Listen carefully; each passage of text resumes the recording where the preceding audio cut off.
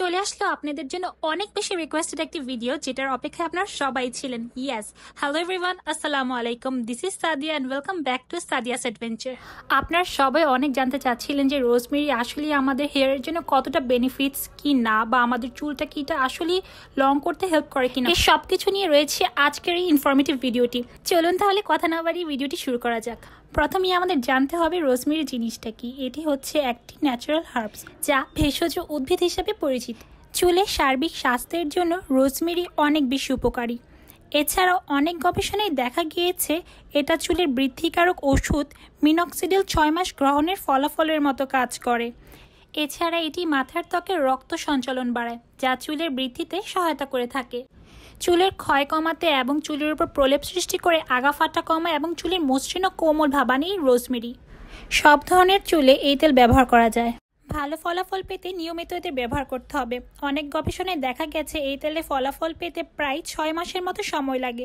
যদিও এর সত্যতা প্রমাণের জন্য আরও বড় পরিসরের গবেষণার প্রয়োজন রয়েছে। এটা সব ধরনের চুলের ক্ষেত্রে উপযোগী, তবে বিশেষ করে পাতলা ও চিকন চুলের জন্য এটা বেশ কার্যকর। এখন আমি আপনাদেরকে বলব রোজমেরির সাতটি অজানা উপকারিতা। রোজমেরি খুশকিনাশক হিসেবে ব্যবহৃত হয়ে থাকে। যাদের চুলে অনেক বেশি খুশকির সমস্যা, তারা কিন্তু এ থেকে মুক্তি পেতে পারে রোজমেরির ব্যবহারের ফলে। দ্বিতীয় উপকারিতাটি হচ্ছে, নতুন চুল গজাতে রোজমির এসেনশিয়াল অয়েল অনেক বেশি উপকারে আসে।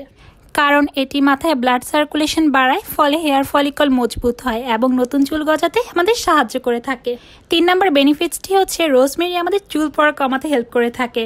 একটি বাটিতে পরিমাণ মতো নারিকেল তেল ক্যাস্টার তেলের সাথে দুই তিন ফোঁটা রোজমেরি অয়েল নিয়ে মিশ্রণটি ভালোভাবে মিশিয়ে নিতে হবে। এরপর পুরো চুলে আর চুলের গোড়ায় ব্যবহার করুন। আমি এখানে একটি রোজমেরি হেয়ার সিরাম বানিয়েছি। এটা বানানো বেশ সহজ। আপনারা মাত্র দুটি উপকরণ দিয়ে এটা বানিয়ে ফেলতে পারবেন। এখানে আপনাদের মাত্র দুটি উপকরণ লাগবে। সেটি হচ্ছে রোজমেরি আর ওয়াটার। প্রথমে আপনাদের পরিমাণ মতো পানি দিতে হবে, সেই সাথে আপনাদের ঢেলে দিতে হবে এক টেবিল চামচ রোজমেরি। বিশ থেকে পঁচিশ মিনিট পর জাল দেওয়ার পর আপনাদের রোজমেরি তৈরি হয়ে যাবে। এরপর যে কোনো স্প্রের বোতলে ঠান্ডা করে ঠুকিয়ে নিতে হবে। ব্যাস, তৈরি হয়ে গেল আপনাদের রোজমেরি সিরাম।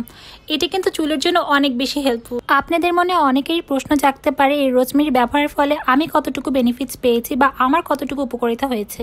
এই রোজমেরি হেয়ার টোনারটা ব্যবহারের ফলে আমার চুল কিছুটা হলে বৃদ্ধি পেয়েছে, কারণ আমার চুল আগে এতটা লম্বা ছিল না বাট এটি ব্যবহারের ফলে আমার চুল দু থেকে তিন ইঞ্চি বেড়েছে। চুল পড়া নিয়ে আমার আগেও অনেক সমস্যা ছিল বাট এটি দেওয়ার পর তেমন কোনো বেনিফিটস আমি দেখতে পাচ্ছি না বা নতুন চুলও আমার তেমন একটা হচ্ছে না। এই তো আর কিছুদিন ব্যবহারের পর হয়তো বা আমি ফুল এক্সপিরিয়েন্স আপনাদের সাথে শেয়ার করতে পারব। লাস্ট একটি কথাই বলব যে রোজমেরি হচ্ছে একটি প্রাকৃতিক উপাদান, এটা হচ্ছে আপনাকে ইনস্ট্যান্ট কোনো রেজাল্ট দিবে না। অবশ্যই আপনাকে পেশেন্সের সাথে ধৈর্য ধরতে হবে।